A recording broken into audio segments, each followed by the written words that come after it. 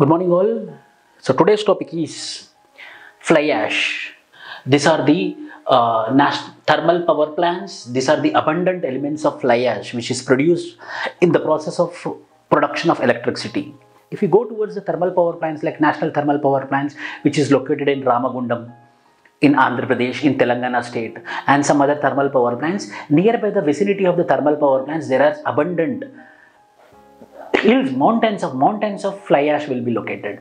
So that is the picture about. So how this particular fly ash is advantageous and disadvantages to the population that I am going to discuss number one. And second point is how it is going to increase the amount of pollution into the atmosphere. so the fly ash, the concept is fly ash. The concept is fly ash. I am going to discuss about fly ash. What is this fly ash? What is this? The National Green Tribunal has imposed penalties of up to 5 crore on thermal power plants that have not fully disposed of the fly ash they, they, they generated. You know, the fly ash which is generated, the fly ash which is generated by the thermal power plants, by the thermal power plants, it need to be disposed by the thermal power projects. If that particular fly ash is not disposed of by the thermal power plants, then it is going to increase the pollutants. Hence, National Green Tribunal imposed heavy penalties on that particular thermal power plants who are who did not dispose of the fly ash.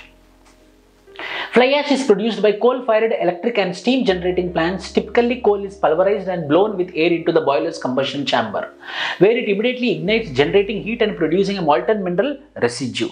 So, the coal with a pump of oxy air both will be pumped into the boilers where it will be burned and with the burnt the steam will be released and the steel will be releasing the will be rotating the turbines. In this particular process the electricity will be produced. So the output so the output the outcome which is coming out.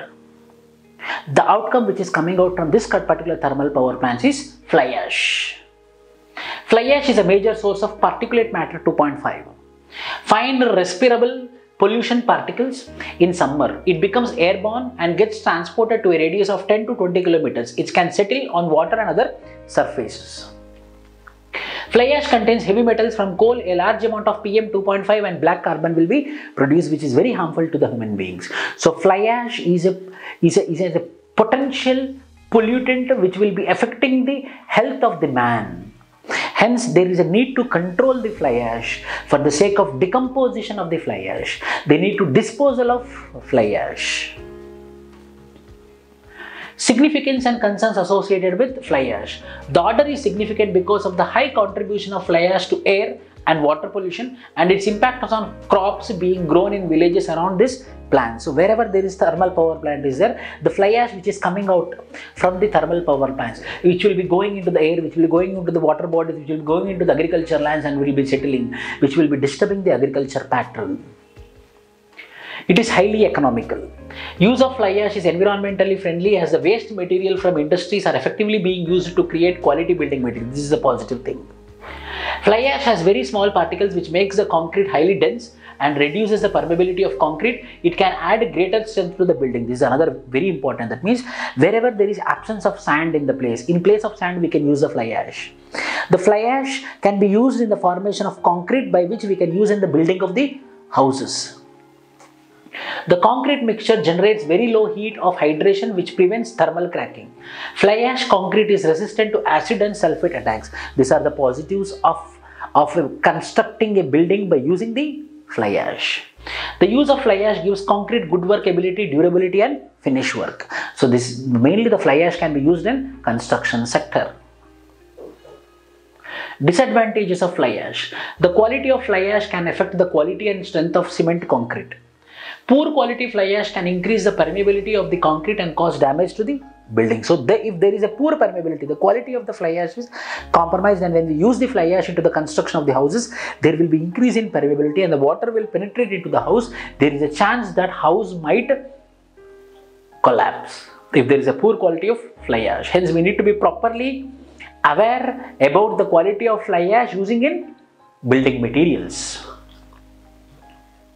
Need for education and awareness generation. Road contractors and construction engineers need to know the benefits of using fly ash in construction. Till today, people, the contractors won't use the fly ash in construction. There is a need to create awareness and education with respect to using of fly ash. Measures need to be taken to reduce the cost of construction of roads using fly ash by way of tax structure, subsidies and transportation services.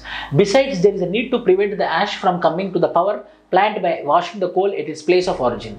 The government should also come out with a policy to encourage fly ash use in cement plants. So this is the various positives of usage of fly ash.